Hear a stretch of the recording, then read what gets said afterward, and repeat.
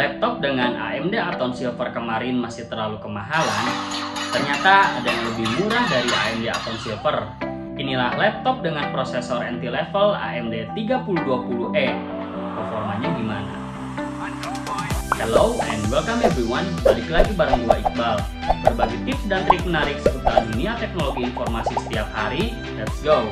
Pada kesempatan kali ini gua dikirimin lagi nih ya laptop dari AMD yang masih entry level nih jika pada video-video kita sebelumnya kita sempat review laptop dengan prosesor AMD Athlon Gold dan juga Athlon Silver, maka pada kesempatan kali ini ternyata masih ada nih ya adiknya si AMD Athlon tadi, yakni AMD 3020E.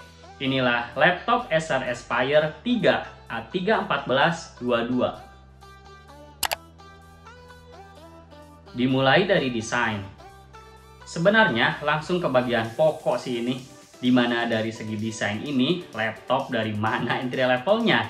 Menurut gua pribadi sih warna hitam yang Acer sebut charcoal black. Di sini mewah di harganya ya. Bodinya tipis, kalem, simple banget.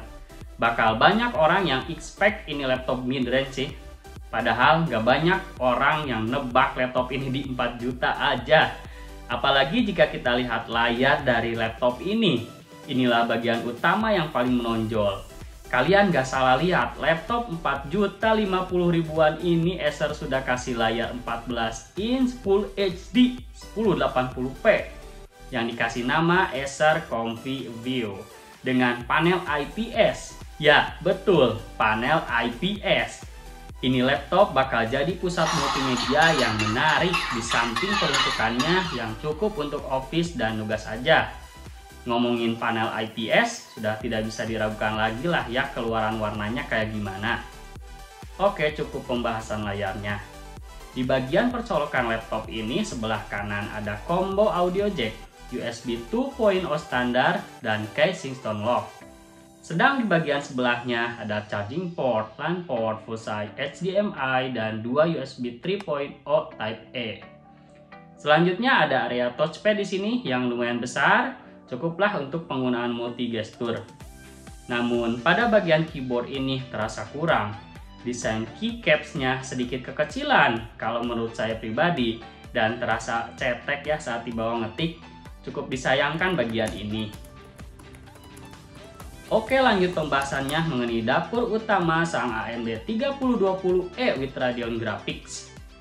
Prosesor ini pastinya hanya ada dua core dan dua thread saja dengan clock speed lumayan rendah di 1,2 GHz. Sedang GPU integrasinya untungnya cukup lumayan di set di 1000 MHz dan sudah punya VRAM 512 MB. SKU ini dikasih RAM bawaan 4 GB 2400 MHz yang bisa di-upgrade.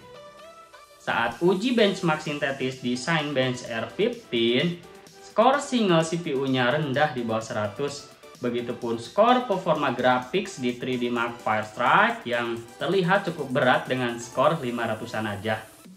Menandakan spek segini cukup penggunaan hiburan multimedia dan nugas saja. Tapi kalau udah bosan nonton dan lagi males nugas, laptop ini masih bisa kasih hiburan ekstra kok mainin PES 2017 lancar di medium setting 720p. Ditambah jalanin emulator lancar di retro gaming kayak gini aja.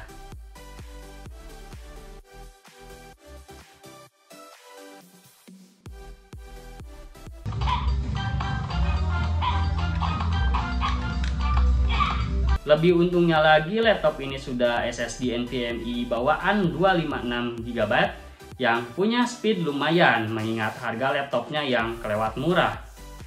Ngomongin opsi upgrade, ada RAM yang sayangnya cuma single channel yang dapat kita upgrade. Lalu tentunya SSD-nya bisa di-upgrade. Laptop dengan performa segini dikasih sistem pendingin single fan dan single heat pipe ditambah bolong-bolong di case luarnya kayak gini. Hasilnya ini laptop adem-adem aja dengan putaran kipas rendah. Baterainya segede gini untuk penggunaan multimedia yang maksimal. Kesimpulannya, ini laptop cocok banget untuk penggunaan multimedia seperti kita jelaskan tadi.